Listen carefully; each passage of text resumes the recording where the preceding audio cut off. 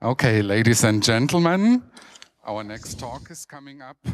DP5, PRI for Privacy Preserving Presence, a framework that allows you to have better control of your privacy. If you have a space, a free seat next to you, could you please raise your hand so anyone can find seats really quickly, even for the people coming in late now. Now there will be a notice about the translation. Es gibt von diesem englischen Talk eine deutsche Live-Übersetzung. Ähm, bitte das Decktelefon nehmen und Kanal 8011 wählen und unsere Live-Übersetzer übersetzen von Englisch nach Deutsch. Okay, so we are ready to start. Here we have uh, Ian and George and let's give them a warm round of applause. Hallo, hier, liebe Hörer, hier ist ähm, willkommen zu PR, PIR für Pri ähm, Privatsphären äh, sichernde äh, Präsenz. Und äh, ich bin Julian und äh, neben mir sitzt Alex. Äh, und wir übersetzen das. Hallo, wir sind ähm, Ian Goldberg und George Denasis vom University College of London. Und äh, die dritte Person konnte heute nicht dabei sein, Niko Borisov. Ähm, wir wollen heute über GP5 PR Privatsphären, äh, Privatinformationsretrieval äh, äh, reden, ähm, PIR. Und dann wird George äh, etwas ein bisschen mehr über DP5 reden. Zuerst äh, PIR. Was ist PIR? Ähm, stell dir vor, eine Online-Datenbank vor. Ist nicht so schwer vorzustellen. Es gibt einen Haufen Online-Datenbanken. Ähm, und wir haben und stellen wir uns mal vor, wir haben eine Patentdatenbank mit ganz na, es gibt halt richtig viele Datenbanken, die man abfragen kann, zum Beispiel in den USA über Patente. Wir sind alles, äh, ist alles eine Forscherin. Äh, alles wird das, ähm, alles will das äh, Patent äh, 62667, ähm, äh, das Patent auf das Schwingen einer Schaukel abrufen. Ähm, das ist ein echtes pa Patent. Das ist ähm, äh, zurückgezogen worden wegen Dummheit, aber es wurde zuerst ausgegeben.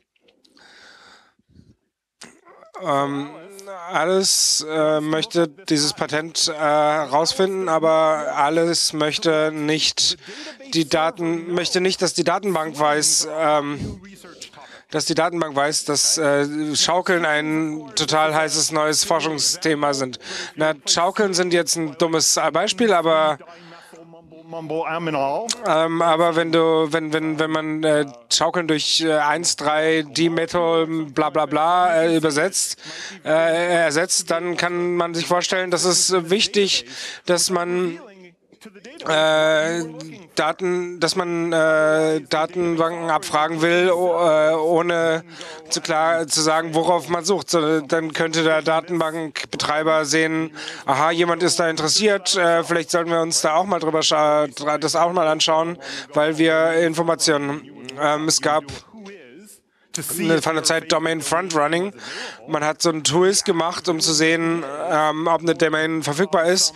Und dieser Akt des US-Ausführens äh, hat ein paar ähm, Domain-Registrare dazu getriggert, dass sie diese Daten, äh, diese Domain registrieren, bevor man ähm, es selber machen konnte. Also will man eine Datenbank fragen können, ohne dass die Datenbank fragt, äh, weiß, dass man woran man interessiert. Das ist Private Information Retrieval, also privates äh, Informations ähm, äh. Wir wollen uns ist egal, also wir wollen nicht verstecken, dass Alice ähm, Schaukel, sich nach Schau für Schaukeln interessiert, sondern wir wollen verschleiern, dass Schaukeln ein heißes Thema sind. Wenn man zusätzlich wenn man sich zusätzlich noch Anonymität äh, hinzufügen möchte, dann äh, kann man einfach Tor benutzen oder sowas, ist alles in Ordnung, darum geht es nicht. Und es kann natürlich ähm, ähm, gibt natürlich äh, Businessmodelle, die äh, auf diesem PIR äh, basieren, ne? dass man eben Geld dafür zahlt, dass man privat, äh, ohne, ohne dass es äh, jemand rausfindet, äh, diese, diese Abfragen macht. So, alles macht diese Abfrage, diese PIR-Abfrage und die, die Idee ist, dass der Server keine Ahnung hat, was, ähm, was, was, was, sie, ähm, was abgefragt wurde. Die meisten von euch denken euch wahrscheinlich, na, das ist natürlich völlig unmöglich. Ähm, na, es ist natürlich ähm, es ist ähm, natürlich, äh, natürlich ist es ein bisschen unmöglich und die Magie der Kryptographie ist, ähm, dass Sachen unmöglich sind äh, und äh, äh das eben transitiv ist. Alles äh, verbindet sich mit dem Server und ähm, sagt, ich möchte ein Patent und das Server sagt, hier sind alle Patente, äh, schau dir selber an, schau selber nach. Ganz klar, diese Version wäre komplett privat und der Server hat keine Ahnung, wonach alle, ähm, an was Alice äh, interessiert ist. Aber das ist natürlich ziemlich lächerlich. Also das, schickt, das verschickt natürlich viel zu viele Daten. Da Datenbanken mit einer entsprechenden Größe äh, werden äh, nicht äh, in annehmbarer Zeit äh, alle Daten rausschicken können. Und es gibt natürlich auch andere Probleme damit. Und äh, mit dem trivialen PRA-Protokoll. Also woranach wir suchen in besseren PRA-Protokollen, ähm, ist die, äh, dass wir eben ähm, mehr Privatsphäre haben wollen, mit, indem wir weniger, ähm, indem wir weniger Daten verschicken. So und äh, was wir in ein paar Minuten sehen werden, ist, dass das durchaus möglich ist, dass es eben äh, PIA-Protokolle gibt, die das können. Es gibt verschiedene Kategorien von PIA-Protokollen. Die, ähm, die erste ist Com Com äh, Computer PIA, ähm, wo die Sicherheit des PIA-Systems darauf basiert, äh, sich darauf verlässt, ähm, ist, dass der Server ähm, der versucht herauszufinden, äh, worauf du, äh, worauf du dich in, äh, interessierst. Aber der ähm, und dass man eben ähm, davon ausgehen, dass der Computer dass der Computer, ähm, äh, der Server ne, keine unlimitierte Daten, äh, äh, hat und ähm, das nicht, äh, das entsprechend nicht rausfinden kann und keine Krypto brechen kann. So, Alice äh, nimmt ihre Anfrage und verschlüsselt sie. Und im Gegensatz zu einer Anfrage, wo Alice eben äh, eine Anfrage ähm, über TLS schickt, ähm, da wo, wo dann einfach andere Parteien das nicht lesen können. Ähm, versucht Alice hier ähm, die äh, Query, ähm, die Anfrage ähm, mit ihrem eigenen Public Key ähm, verschlüsselt. Ähm, ja, äh, machen wir weiter. Also, was kann der Server jetzt damit machen, mit diesem, dieser verschlüsselten Anfrage? Tja, man, man, wie man sieht, man kann mit bestimmten Arten von Public Key Encryption für eine bestimmte Operation, die nennt sich Homomorphismus, habt ihr vielleicht in den Nachrichten gehört, vielleicht über sogenannte Full Homomorphe Kryptoge. Man kann alle, alle, alle komischen Berechnungen, die man nur mit sehr hohen Kosten durchführen kann. Das ist nicht worum es hier geht. Das ist die sogenannte, diese sogenannte partielle Homomorphismus, die ist total einfach, annehmbar. Tja, was man damit machen kann, ist, dass der Server kann die verschlüsselte Anfrage nehmen, die mit Alice's öffentlichem Key äh, verschlüsselt wird, und die und er kann sie mit dem ähm, ver verbinden und dadurch eine Antwort, die immer noch verschlüsselt ist, zurücksenden und die immer noch mit Alice's privaten Key zurück entschlüsselt werden kann. Und diese wird dann zurück nach Alice gesendet. Und das ist die generelle Struktur über, von komputellen äh, PAI. Tja, diese sogenannten Homomorphen sind etwas teuer, rechnerisch gesehen. Deswegen kostet es manchmal sehr viel, um diese äh, Berechnung zu machen. Deshalb gibt es eine andere Art von PAI, die sogenannte informationstheoretische PIA, sogenannte IT-PIA. Was du da machst, ist, dass die Server, die sind, man geht nicht mehr davon an, dass die Server eine, äh, eine begrenzte Rechenkapazität haben. Die sind jetzt unbegrenzt. Die können alles Mögliche machen in null Zeit. Und Alices Anfrage muss trotzdem beschützt sein, eben sogar wenn die Rechner äh, unlimitierte Rechtskapazität haben. Tja, wir, wir, wir, verwenden eine unterschiedliche äh, Annahme, und zwar eine, die nicht auf Kryptographie beruht, sondern eine, die Informationstheorie beruht, deshalb also ITPR. Tja, also hier braucht man mehrere Server und alles fragt eine, jeden Server eine Frage und kriegt eine Antwort. Und dann kombiniert sie diese Antworten, um ihre Antwort zu bekommen. Tja, die Sicherheits, äh, das Sicherheitsmerkmal, das wir hier ist, das ist die Nicht-Zusammenarbeitsannahme. Und zwar, dass es eine bestimmte äh, Zahl von diesen Servern nicht zusammenarbeiten, um alles äh, Privatsphäre zu brechen. Und zwar diese, und diese Annahme ist ziemlich, äh, die gibt, gibt, es oft in Privattechnologien, äh, zum Beispiel Tor. Wenn, denn zum Beispiel bei Tor, wenn alle Server in deinem Pfad äh, gegen dich zusammenarbeiten, dann bist du auch ruiniert. Tja, wenn die alle zusammenarbeiten, dann ist es schlecht für dich. Zu, bestimmte Art von äh, E-Voting haben auch diese Annahmen. Also es ist ziemlich, weil gibt es oft.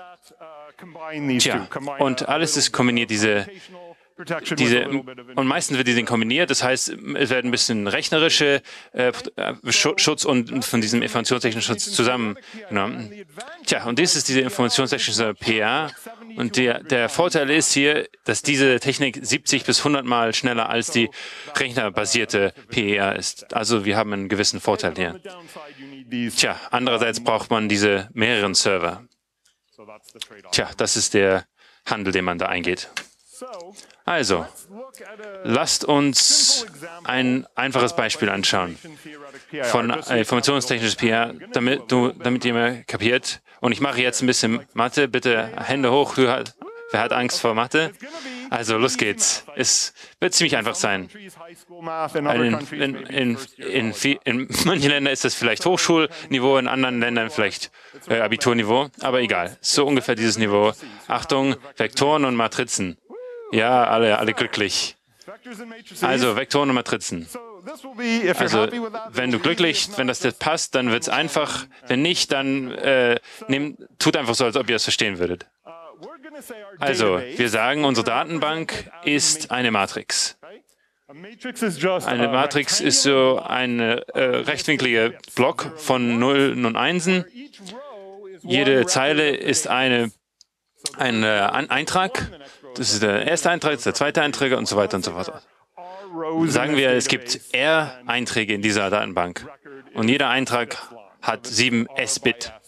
Also es gibt es ja eine R mal S-Matrix. Tja, was der Anfrager wissen möchte, ist genau einen Eintrag holen, zum Beispiel den dritten, und will einen diesen Eintrag sich holen. Okay. Also, um dieses, damit dieses PR-System funktionieren kann, müssen wir uns äh, zwei äh, Fakten in Erinnerung rufen. Erstens, wenn man den Elementarvektor nimmt, EI, das heißt alle Nullen und, ein, und eine Eins in dem äh, off-diagonalen, genau, in einem E3, das wäre hier jetzt E3. Wenn man EI nimmt, Länge R, und multipliziert ihn mit der Matrix, Erstmal erinnert euch heran, wie, wie funktioniert das Zeug? Ah, also vertraut mir, was, was am Ende rauskommt, ist die ite-Zeile von dieser Matrix. Das heißt Eintrag i. Okay? Also, okay, das ist unser Protokoll. So einfach ist das.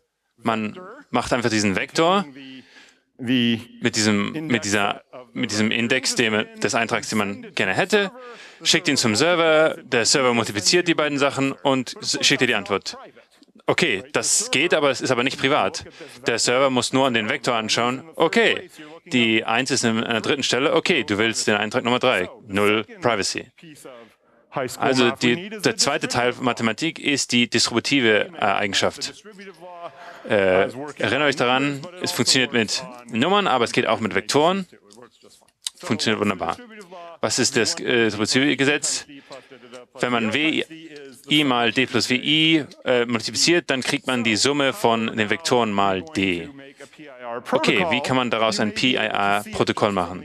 Vielleicht könnt ihr es daraus schon sehen. Okay, hier, ist, hier funktioniert zum Beispiel, sagen wir mal, alles will Eintrag 3. Ähm, alles konstruiert E3 und schickt es an niemanden. Und dann sucht sich L Server aus und sucht sich L total zufällige Vektoren an. Unter der Annahme oder unter der Bedingung, dass die sich genau zu EI summieren. Äh, Modulo 2. Das, das eins, einfachste ist, ähm, sich mal L-1 Vektoren aussuchen und dann äh, kapieren, welcher der letzte sein muss, damit sie genau äh, EI zu, zu EI summieren. Okay, now, jetzt haben wir L total zufällige Vektoren, die können wir zu den Server schicken und jeder Server äh, kriegt nur einen zufälligen Bit-Zustand und wenn man sich genau das überlegt, hat das genau null Informationen über diese Nummer 3. Genau, also jeder Server kriegt jetzt null Informationen, worüber. Das heißt, je, in, und in der Tatsache, jegliche Koalition von Servern, solange sie nicht alle sind, hat null Informationen über I. Tja, was ist das Protokoll? Ja, jeder Server holt sich diesen Vektor, multipliziert mit D, holt sich die Antwort und dann schickt sie zurück und alles summiert sie alle. Und durch dank der Dispositivgesetz ist äh, das Resultat genau ist, ist die Antwort genau die Summe der Vektoren mal d. Tja, wunderbar. Okay. Ist, dies more, ist das effizienter als der naive einfach mal alles runterladen Ansatz. Überlegen, mal überlegen, wie viel Data schenkt, äh, schickt alles jedes Mal? Und zwar ein Vektor Länge r, und zwar r Bits. Und wie viel kriegt sie zurück? Also sie kriegt zurück ein, äh, ein Vektor Länge s zurück. Das heißt, sie kriegt ein r plus, sie kriegt r plus s Bits hin und her geschickt. Tja, und wie viel gibt es insgesamt? R mal S. Das heißt, ist viel, viel mehr. Für jegliche äh, denkbare RNS. Tja, das beste Protokoll ist, wenn R und S ungefähr gleich sind. Das heißt, die, die äh, Datenbank ist ungefähr quadratisch. Das heißt, man kriegt die Wurzel, man, man schickt die Wurzel ungefähr die Wurzelbits hin und die Wurzelbits zurück times L, the number of servers, as opposed to n. Tja, man kriegt also genau die, die Länge eines Vektoren und nicht die, die Länge der gesamten Datenbank. Okay, also das war eine der ersten Protokolle, die man sich ausgedacht hat von Chorin und anderen im 1995, ungefähr 20 Jahre her. Aber da gibt es ein paar Probleme. Viele von denen, viele davon haben wir inzwischen äh, gelöst. Lasst uns mal die, das anschauen. Erstens, Erstens, der, der, die Form dieser Datenbank ist ziemlich simpel. Das heißt, wir, die Annahme ist, es ist genau eine, eine Reihe von genau äh, äh, Einträge, die genau gleiche Länge haben. Uh, das, das, heißt, inzwischen gibt es viele Datenbanken, die sind unterschiedlich, aber wir haben dieses Protokoll verlängert, um äh, beliebig geformte Datenbanken äh, zu fun funktionieren. Man denkt, vielleicht geht das nicht, weil alles dann sagen muss, wie groß ist der Eintrag, den sie eigentlich hätte. Wie geht das mit, mit Privacy? Aber das haben wir gemacht. Und weitere, weitere Arbeit hat sich äh, überlegt, tja, was, wie, was für eine Anfrage äh, man machen kann. In diesem Fall, den wir gerade besprochen haben, ist die Anfrage, ich hätte gerne Nummer drei. In den meisten Fällen weiß man das nicht vorher. Wir wissen irgendwelche äh, Eigenschaften davon. Wir, deswegen brauchen wir eine mächtigere Anfrage, zum Beispiel äh, Key Keywords oder zum Beispiel äh, SQL-Anfragen. Und es wurde be bewiesen, dass man dies machen kann. Man kann SQL-Anfragen stellen, ohne den Server mitzuteilen, was die SQL-Anfrage ist. Das ist ziemlich cool. Das gibt es schon. Es gibt es im Code. Wunderbar. Also.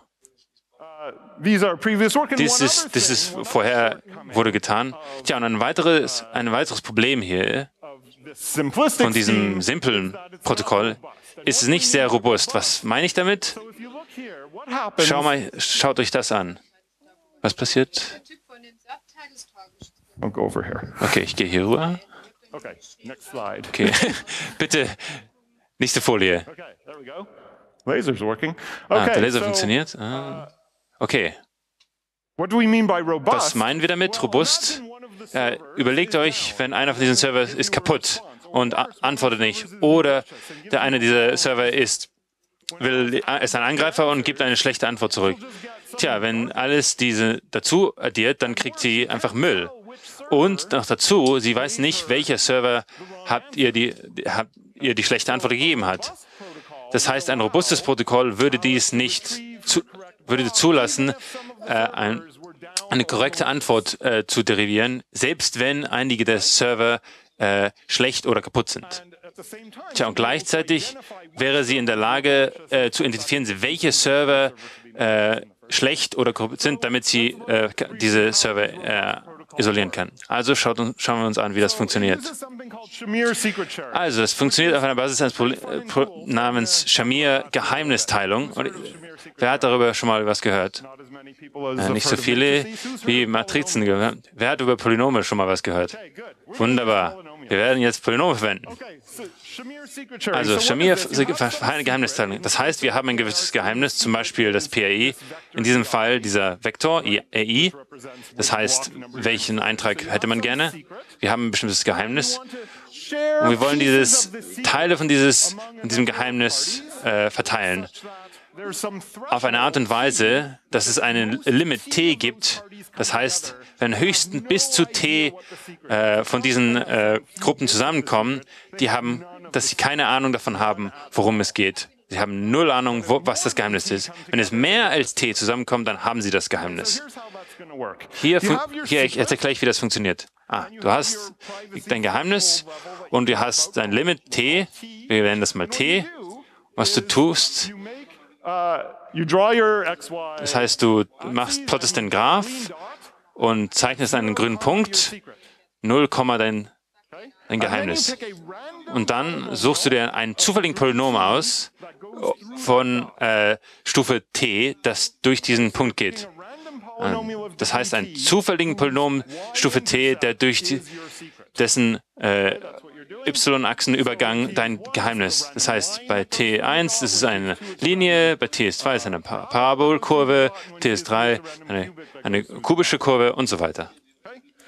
So what you do next, then Was kommt als nächstes?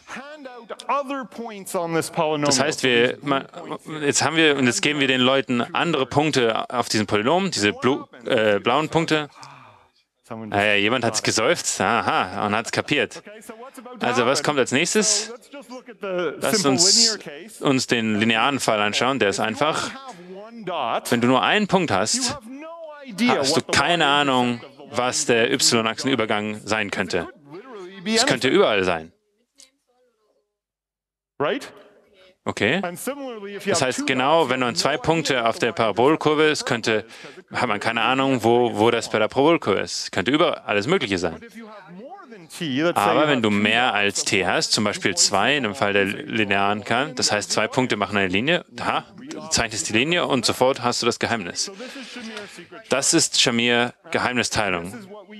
Und wir verwenden genauso diese Technik, anstatt ähm, EI in Teile zu teilen, teilen wir es in diese, in dieses, in diese etwas komplizierteren Art und Weise, die, das die, die Eigenschaft hat, man braucht nicht die Antwort von allen Servers, man, wir, man braucht nur T plus 1 Antworten. Tja, was, wenn einige Server dir die falsche Antwort geben? In diesem Fall verwenden wir einen Fehlerkorrekturcode, zum Beispiel,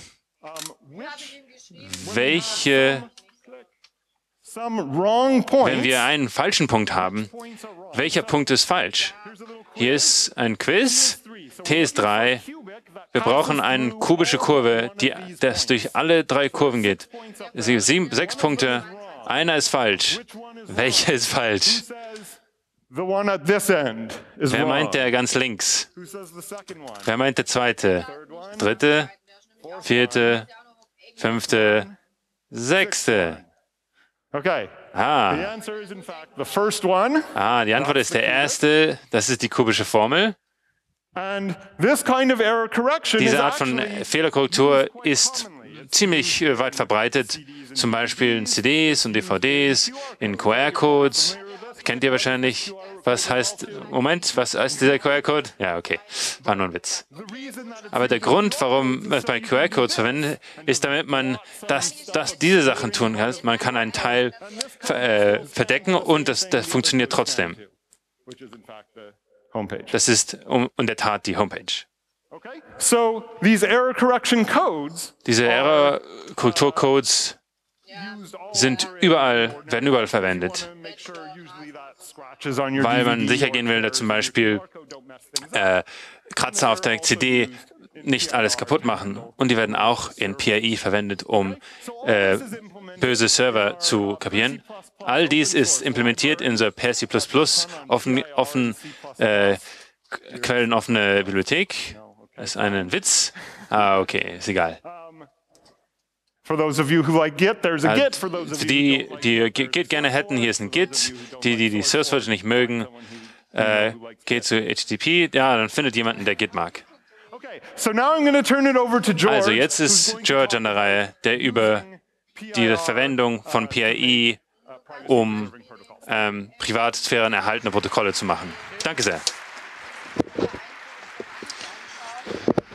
So, guten Abend, äh, guten Abend, Nachmittag äh, allerseits.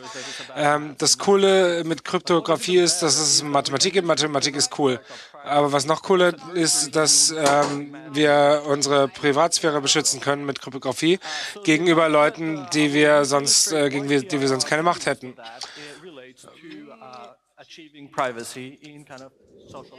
Ja, und ähm, PR sorgt dafür, dass wir eben in äh, Privatsphäre in sozialen Interaktionen benutzen können.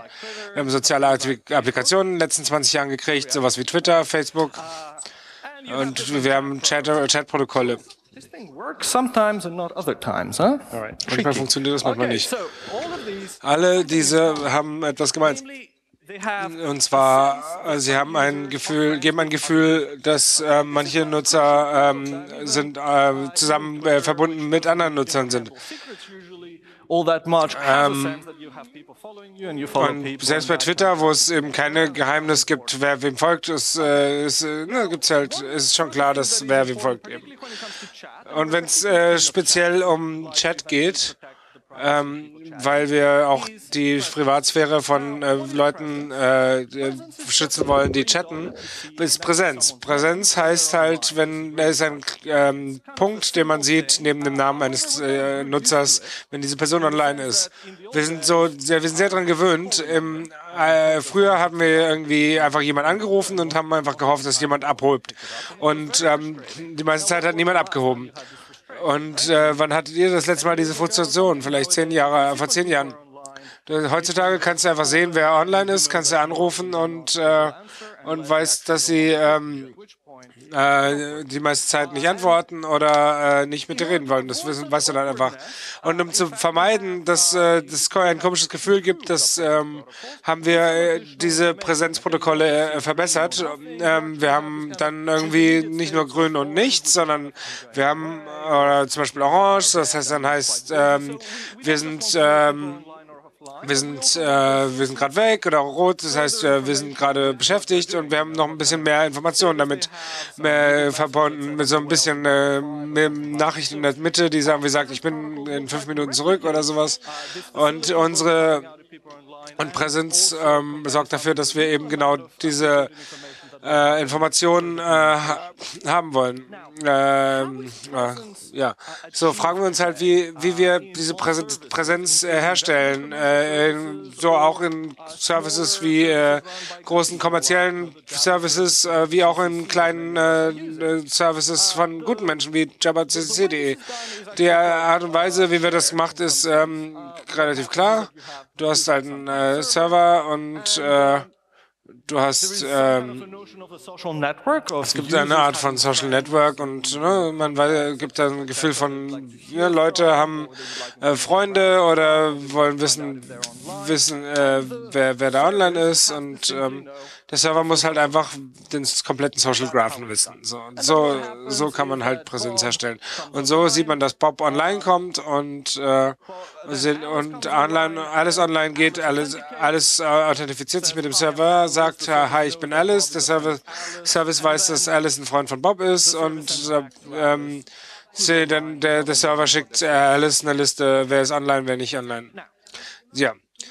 Jetzt. Ähm, I'm clicking furiously here. Ja, das ist schwierig mit dem. Äh, ich werde mich einfach hier rüber bewegen. Mit, Jetzt ähm, und Präsenzinformation ist zurückgeschrieben und äh, wird, wird zurückgeroutet und ähm, es gibt ein fundamentales Privatsphärenproblem mit diesen Services, die diesen Social Graph haben. Ähm, was, was, ja, was ist das Problem? Das Problem ist, wer unsere, wer deine Freunde sind, bedeutet äh, sehr, sehr viel, äh, ne, lässt sehr, sehr viel darüber wissen, wer du bist. Wenn alle meine Freunde Hacker sind, äh, ist die Chance groß, dass ich ein Hacker bin. Wenn alle meine Freunde Journalisten sind, ähm, äh, dann äh, ist die Chance groß, dass ich auch ein Journalist bin. Wenn, äh, ich, wenn meine Freunde alle aus dem Sudan kommen, ist die Chance groß, dass ich auch äh, aus dem Sudan komme.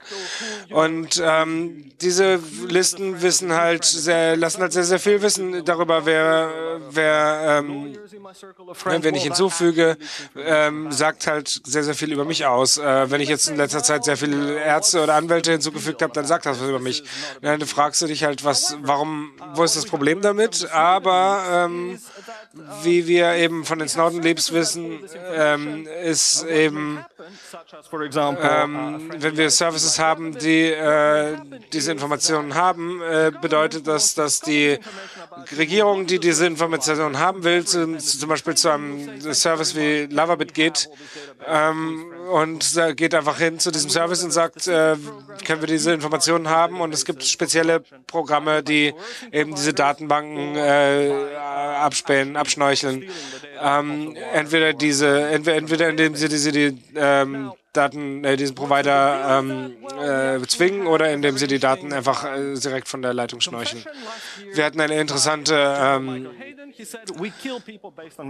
wir, wir, hatten letztes Jahr eine sehr interessante äh, äh, äh, Michael Hayden von der NSA hat eben zugegeben letztes Jahr, dass wir Leute, Menschen auf der Basis von ihren Metadaten umbringen. Das heißt, im schlimmsten Fall kannst du eben auf der Target Surveillance List landest, äh, je nachdem, mit wem du befreundet bist oder eben äh, Ziel von von äh, Repressalien bist. Und wir wollen genau diese Daten eben äh, ja, verstecken und dafür sorgen, dass du eben nicht mehr rausfinden kannst, wer was, wer mit wem befreundet ist.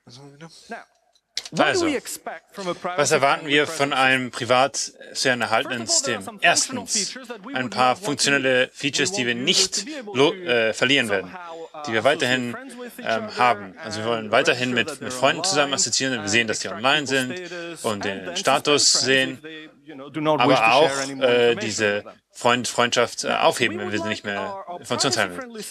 Weiterhin möchten wir, äh, dass unser System resistent ist gegen zum Beispiel bestimmte Art und äh, Angreifer. Zum Beispiel nehmen wir an, dass Okay. Wir nehmen an, dass unser Feind äh, die, und die meisten Kommunikationen in einem Netzwerk äh, monitor monitoren können. Weiterhin nehmen wir an, dass bestimmte äh, User nicht ehrlich sind, aber wir nehmen an, dass wir bestimmte Tricks immer noch machen können. Zum Beispiel, dass unser Computer sicher ist. Tja, wenn das nicht der Fall ist in deinem Computer, dann rede mit den Leuten, die Tails oder und so weiter.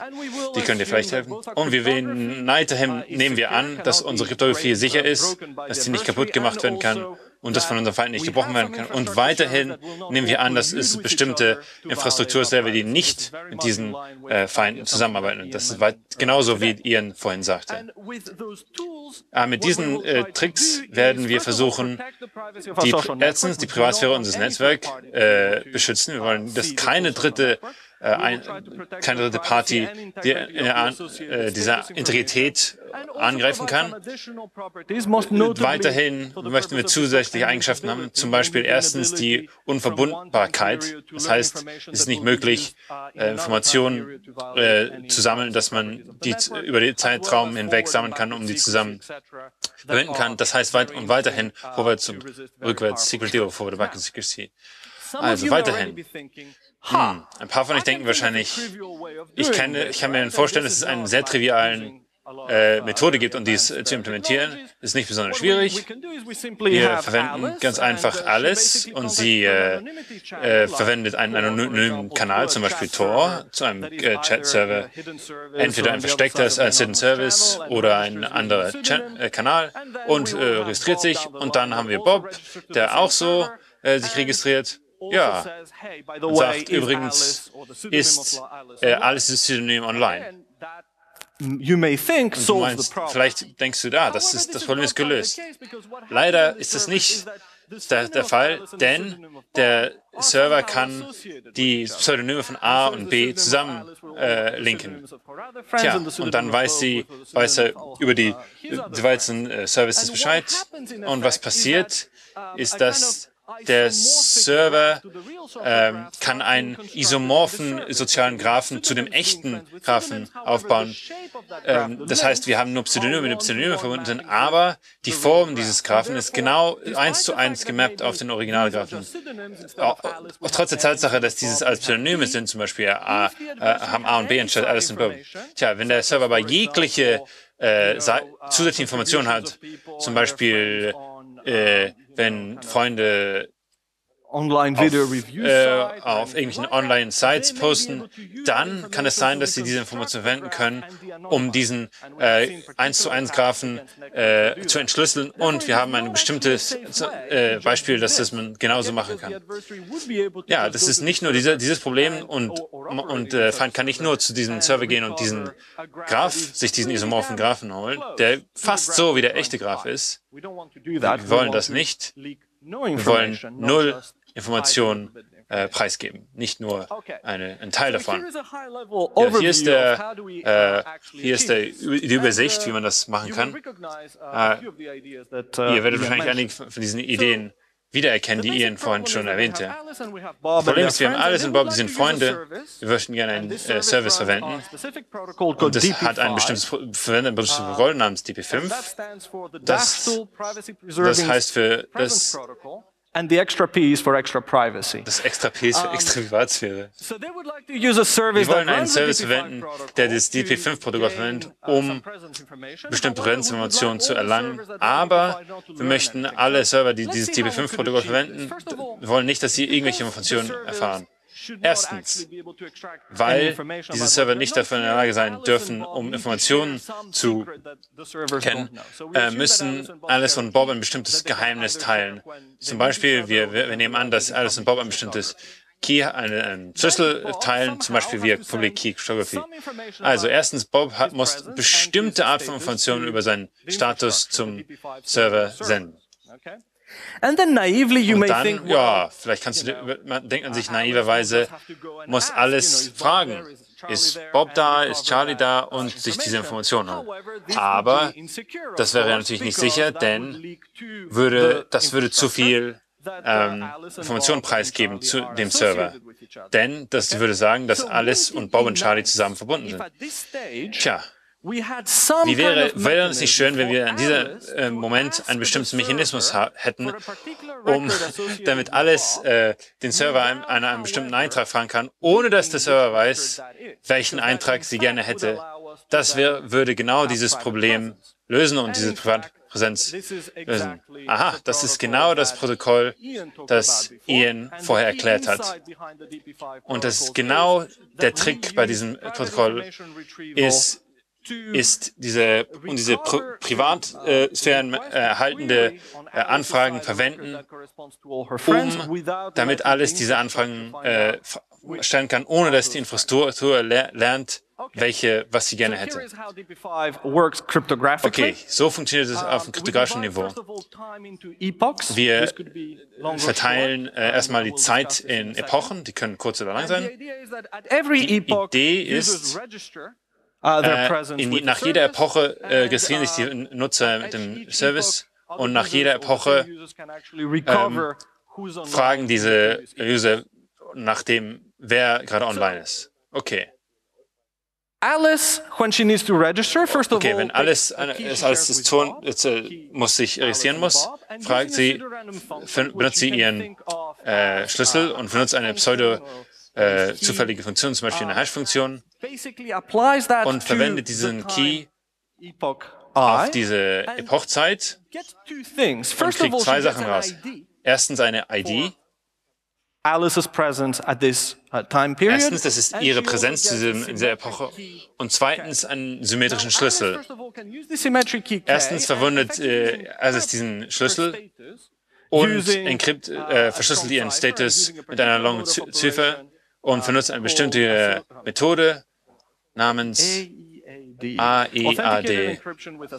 Authentifizierte Ink- äh, Verschlüsselung mit, mit And, uh, äh, assoziierten Daten. Das heißt, es ist einfach einfache, sichere Verschlüsselung. then she can make a Und dann macht sie einen Eintrag mit nur der ID und die store verschlüsselnde it Status in und speichert sie in, in der Datenbank. Okay. Bob comes along Ja, und jetzt kommt Bob the next period nach den, in der nächsten Epoche find out if Alice und online. wissen, ist alles online. So Bob, of course, shares Okay. a key with Alice. Bob hat einen, äh, einen Schlüssel in, mit the in gemeint same und verwendet den, die gleiche with the Funktion same key mit dem gleichen and Schlüssel applies that to the und previous verwendet äh, das auf die vorherige and extracts Epoche und hopefully the same extrahiert ID and hoffentlich the same key. die gleiche ID und den gleichen Schlüssel. Und unter Verwendung dieser ID und die, äh, dieses, dieses Protokoll, das wir das gerade geredet haben, kann Bob versuchen, diesen Eintrag, den Alice vorher äh, hinter, hinterlassen hat, sich zu holen und kriegt hoffentlich den Eintrag C zurück und entschlüsselt diesen Eintrag mit diesem gleichen Schlüssel. Und wenn, wenn er Glück hat, heißt es, dass alles vorher online war und äh, dazu kann sie in, den Status entschlüsseln. Okay. Ich hoffe, die, ihr seid alle halb überzeugt, dass das einfach so funktioniert. Und wenn unter, unter der Annahme, dass es dieses, diese, würde dieses äh, System funktionieren würde und diese Eigenschaften haben würde und diese Funktion weiterhin äh, erfüllen würde. However, there is a problem with all this. Aber es gibt leider ein Problem, und zwar es ist, hängt damit zusammen, dass As diese Datenbanken sehr groß werden.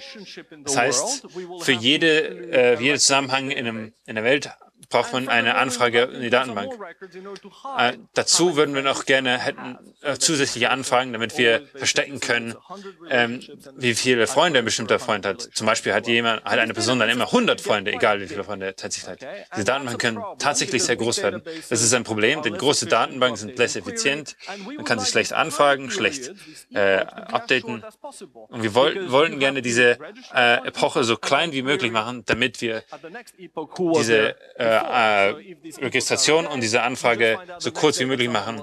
Wenn die zu lang ist, zum Beispiel ein Tag, dann kann man höchstens herausfinden, dass es gestern jemand da war. Das ist nicht so nützlich. Also wir müssen irgendwas tun, um die Effizienz zu verbessern. Und diese äh, Registrierungen sind sehr schnell.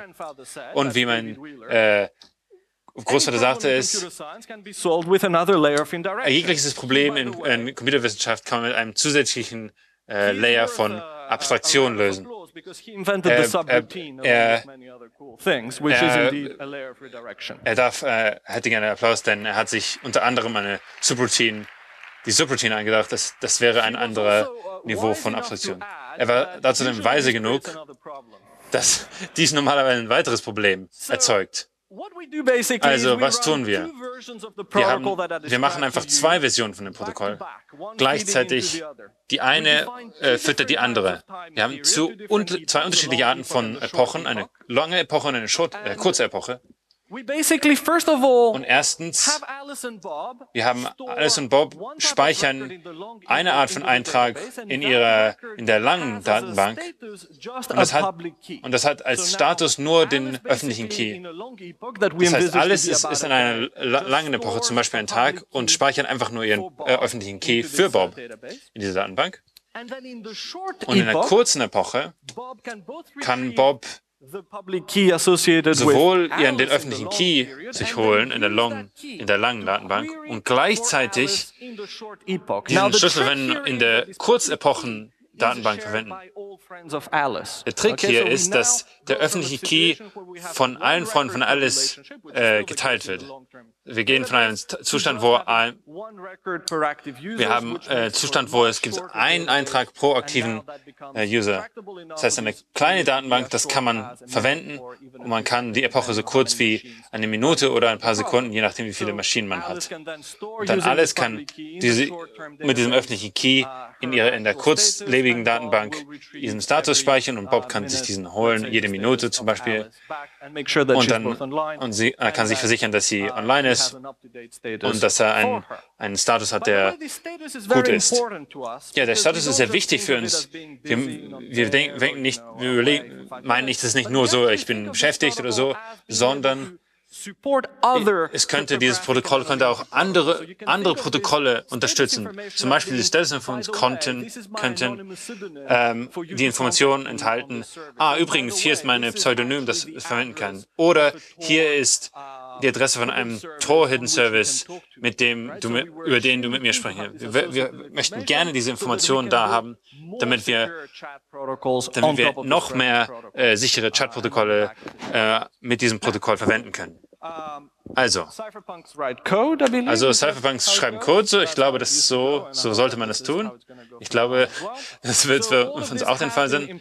Wir haben da das implementiert. Wir verwenden natürlich den Percy++ Code als Kern und der Rest von D5-Protokoll im niedrigen Niveau C++ verwendet. Wir haben Python-Bindings mit dem Cherry Pie Framework und wenn auch Twisted, um dieses alles zu implementieren, damit wir es timen können und sichern können, dass alles funktioniert. Aber es ist, wir arbeiten noch dran. Wir haben es noch mit keinem Client integriert. Das heißt, wir haben das Protokoll, wir können unsere Timing machen, aber wir können leider nicht rausfinden, wer online und wer nicht ist. Mit, mit echten Users, wir können es nur mit unseren Testrobotern machen. Das fehlt im Moment noch. Wir werden demnächst daran arbeiten, im nächsten Jahr. The cost of running Was ist der Kost? Ja, ah, mal, ah, tatsächlich nicht so hoch dafür, dass es so viel Immunität gibt.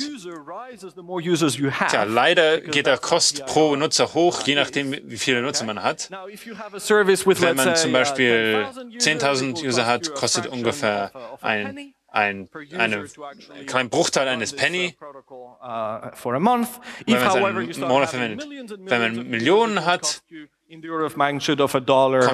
hängt es davon an, dass pro, pro Benutzer einen Dollar oder mehr kostet.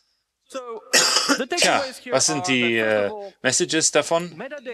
Zusammenfassung der Metadaten im Chatprotokollen ist ein Ziel für die NSA und jede, jede, alle anderen. Wir müssen es absolut, müssen wir es sichern, wenn wir äh, es ernst damit meinen, unsere Informationen zu Wir wissen, wie man Content äh, verschlüsselt, aber Metadaten sind noch nicht so gut.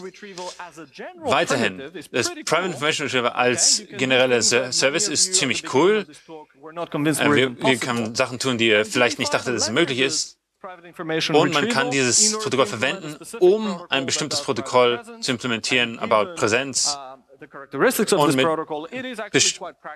äh, und, äh, und angesichts der Heuristiken dieses Protokolles kann man es tatsächlich realistisch verwenden. Vielen Dank. Wir antworten gerne auf Fragen.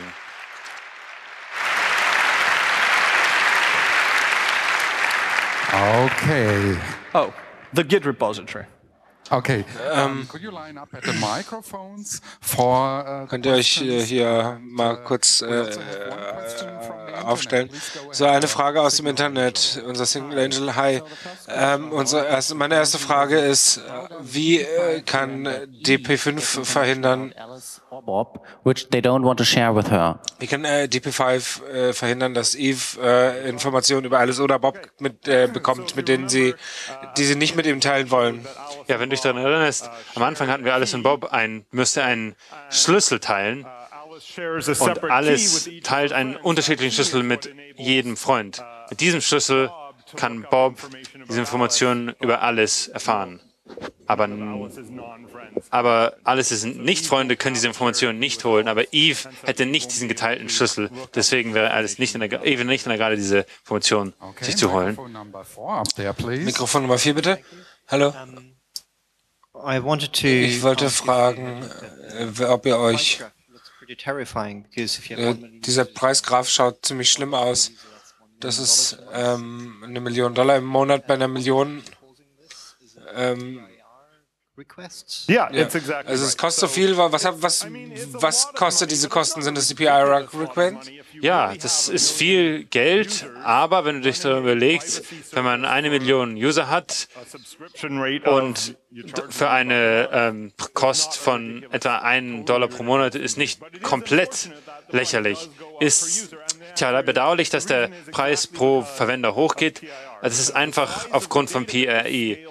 Der, die größte Datenbank skaliert mit der An Anzahl von Verwendern. Das heißt, jede Anfrage muss ein PRI-Lookup auf einer immer größer werdenden Datenbank. Das heißt, wenn du die User vergrößerst, äh, der, der Kost der PR-Anfrage ist proportional zur Größe der Datenbank. Das heißt, kann man gut, sich gut überlegen, wenn der Server nichts weiß über den, äh, über den Eintrag, den man Daten hat. Das heißt immer, der Server muss jeden Eintrag auf irgendeine Art und Weise verwenden. Das heißt, wenn es einen bestimmten, das, denn wenn es einen bestimmten Eintrag nicht anfasst, ist es ein, eindeutig, dass er diesen Eintrag nicht, nicht interessiert ist. Das heißt, der Server muss jeden Eintrag in der Datenbank auf irgendeine Art und Weise berühren. Das deshalb ist der Kost, äh, die, sind die Kosten proportional zur Größe der Datenbank. Okay, Mikro Nummer. 1 da oben. Hi, danke für den interessanten äh, Vortrag.